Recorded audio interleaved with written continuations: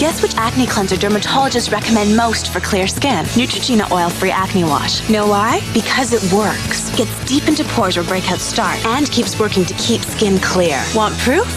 Ask your mirror. Neutrogena Oil Free Acne Wash.